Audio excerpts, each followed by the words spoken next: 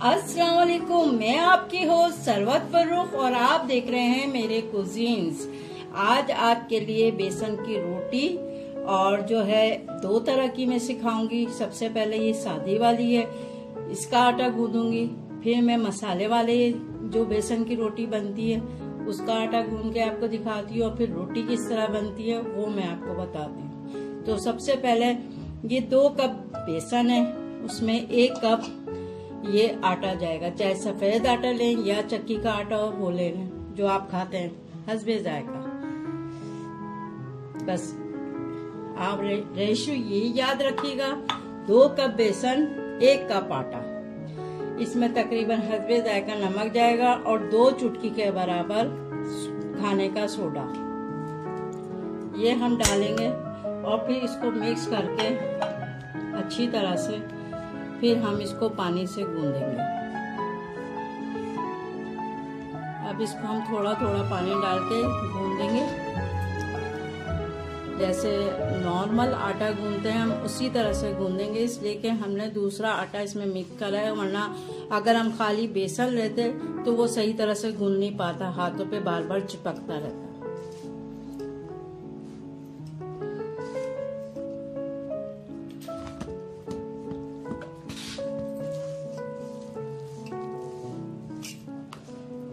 तकरीबन हमारा आटा अब गुन चुका है। जब गुन जाएगा तो हम इसको 10 मिनट के लिए रख देंगे ताकि ना ज़रा फूल जाए आटा।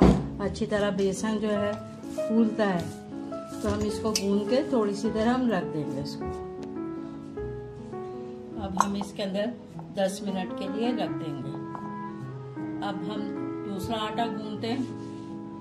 अब हम मसाले वाले बनाते हैं, वो किस तरह बनते हैं, ये मैंने लिए एक कप बेसन लिया है तो एक कप ही मैं ये आटा ले रही हूँ। आप चाहे चक्की का ले लें या सफ़ेद वाला ले लें। ये बस एक कप ही डालना है। इसके अंदर ये मसाला जाएगा।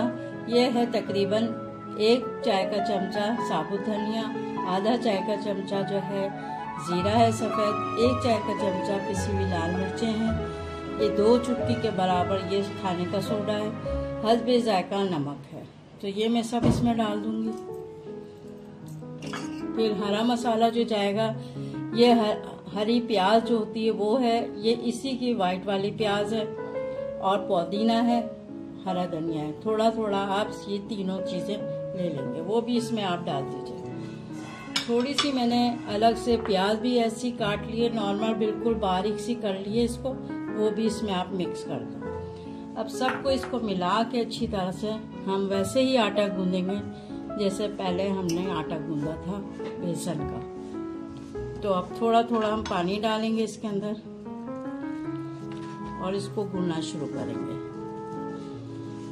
फिर ऐसे ही गूंदता है ये।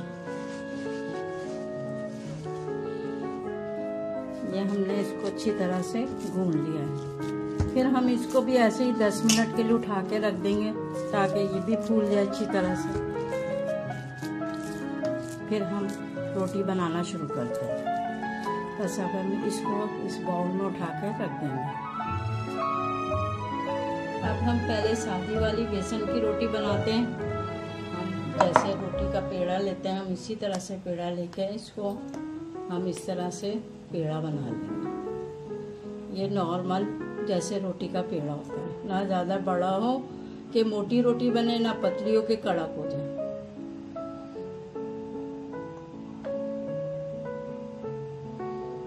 उस पर इस तरह से इसकी चंगेरी बनाएँगे।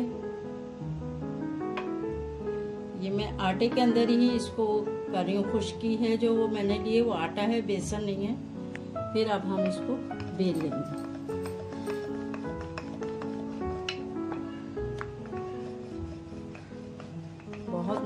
लगती है लहसुन की चटनी के साथ, टमाटर की चटनी के साथ, लस्सी और नमकीन, बहुत मज़ेदार लगती है ये। बेसन की रोटी ये ख़ास तौर पे ये गर्मियों का खाना कहलाता है। अब हम इसको तवे पे डालते हैं। रोटी इस पे डाल दें और ज़रा से ये नीचे से सिक जाए तो पलट दें इसको। ज़्यादा तेज रखना है हमने, तवे को हल्की रखेंगे तो ये कड़क हो जाएगी रोटी। अब इस पे बबल आ गए, अब हम इसको पलट देते हैं। ये देखें।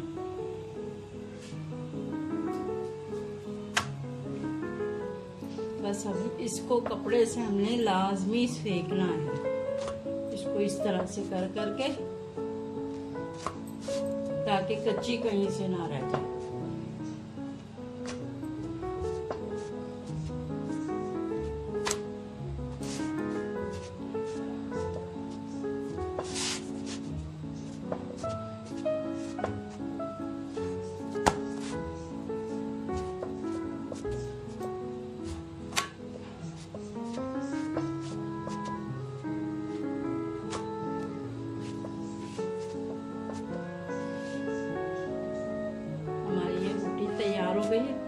अब आप इसके अंदर देसी घी लगाएँ या सादा वाला घी लगा लें। मैं इसके ऊपर देसी घी लगा रही हूँ। ये देसी घी है, ये मैंने घर में बनाया हुआ है खुद। बहुत मज़ेदार लगती है ये वाली बेसन की रोटी और देसी घी हो मक्खन हो साथ में घर का निकला हुआ ये हमारी सादी रोटी तैयार है, अब मसाले वाली बनाते हैं। अब ये मसाले वाली रोटी बनाना शुरू करते हैं।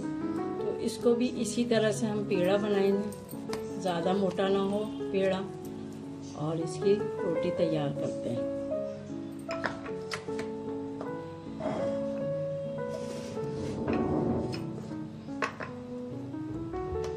भी ऐसी ही चंगेर बनाएँगे। इसलिए कि आराम आराम से करेंगे कि इसमें प्याज जली भी है, कहीं रोटी टूट ना जाए।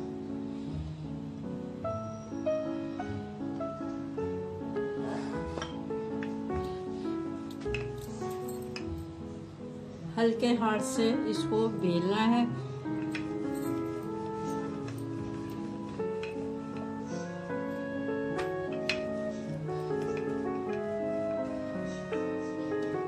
बस अब इसको तवे पे डाल देना है। लाजमी ये प्याज की वजह से ये टेढ़ी मेढ़ी बन रही है। वैसे जायके में ये बहुत मज़ेदार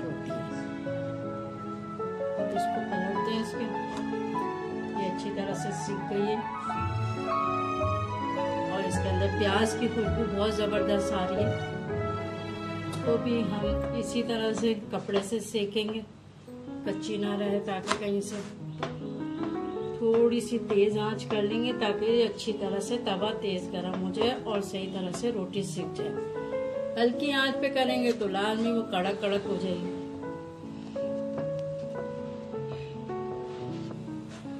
अब नीचे से ऊपर से सीख गई है, अब नीचे से सीख लेते हैं। इसको देखें कितना प्यारा कलर आया है इसका।